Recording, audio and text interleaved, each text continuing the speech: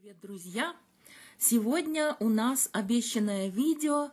Я покажу вам город Стратфорд эпон Эйвон или Стратфорд на реке Эйвон в переводе.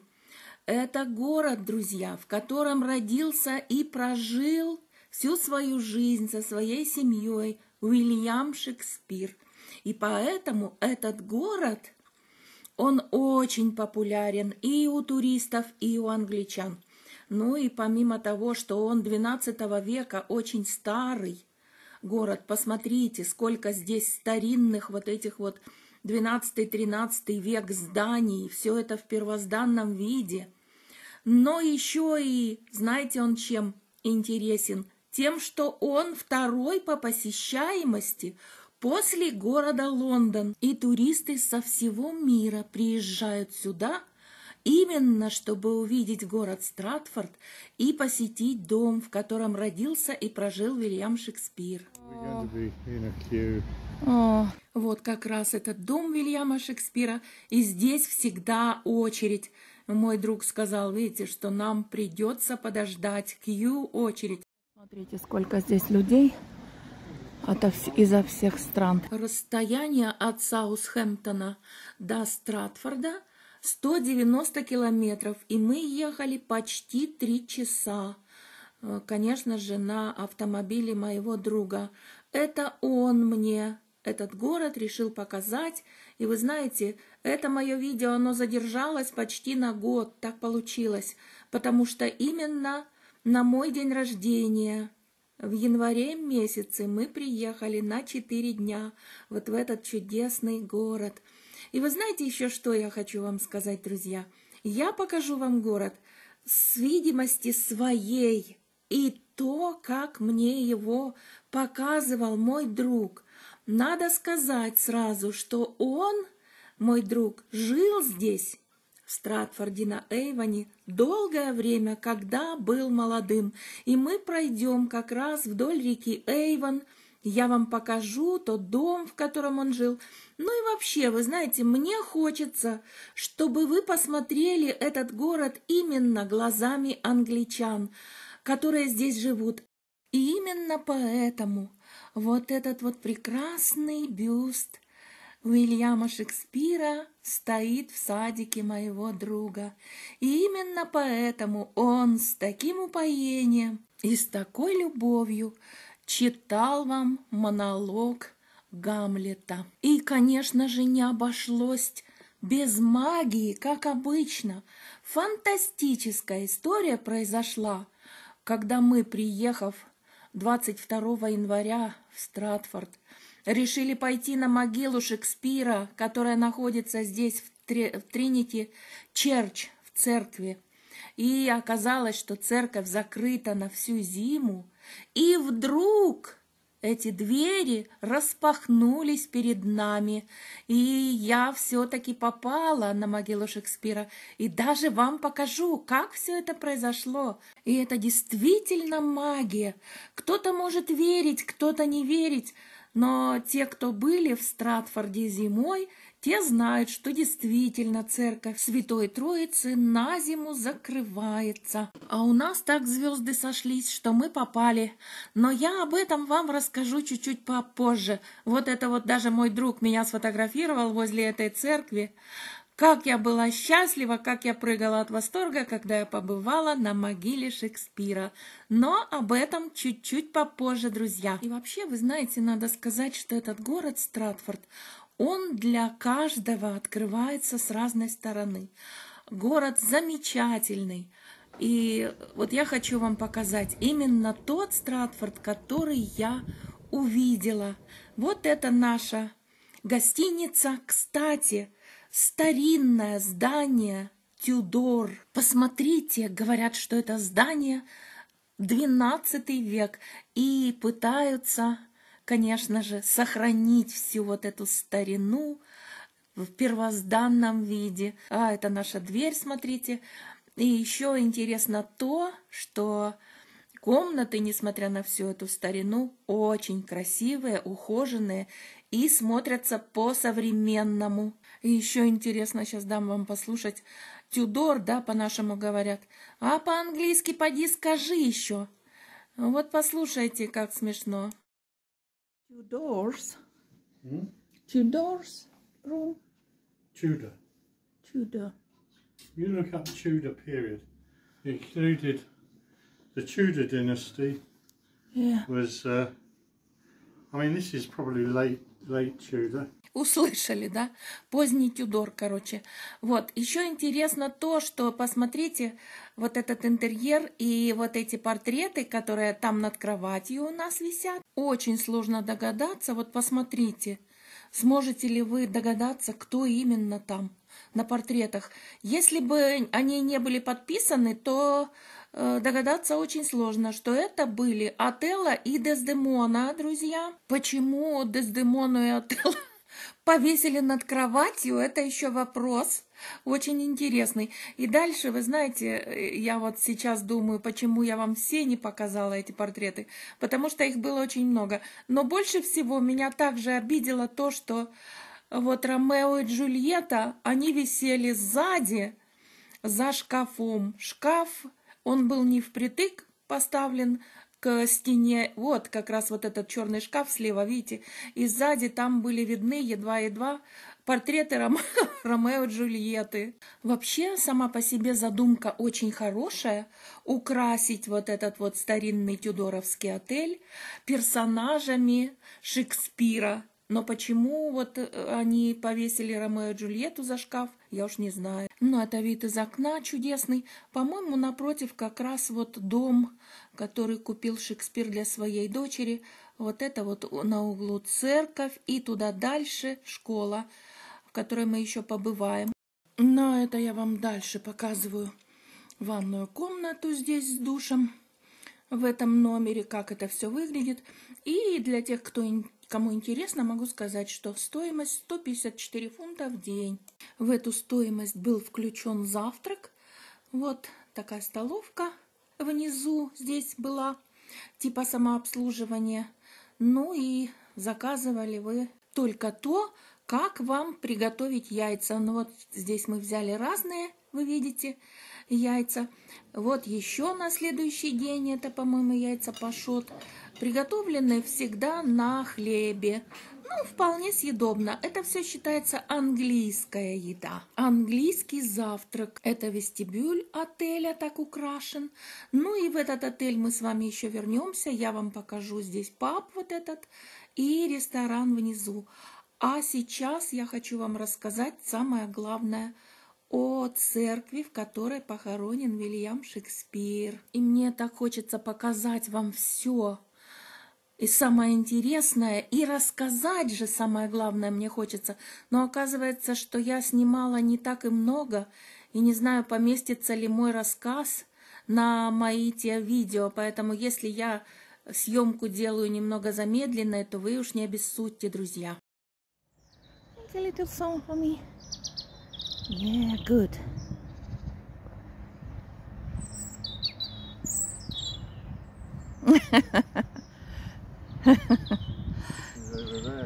И вот так вот мы гуляем с своим другом по вот этому чудесному парку. И я еще и попросила птичку спеть мне песенку, и она так запела заливисто, что я расхохоталась. Ну и что вы думаете? Мы просто гуляем, наслаждаемся, никуда не торопимся, потому что, как нам сказали, зимой церковь Тринити Черч, в которой похоронен Вильям Шекспир, и, в общем, ради чего мы сюда и приехали, она, оказывается, на зимний сезон закрыта.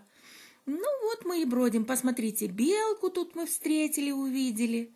Я снимаю белку, вот, понимаете, я почему об этом вам рассказываю, что так вдруг получилось, что мы идем не спеша, вот увидели уже церковь, как раз замечательная вот эта.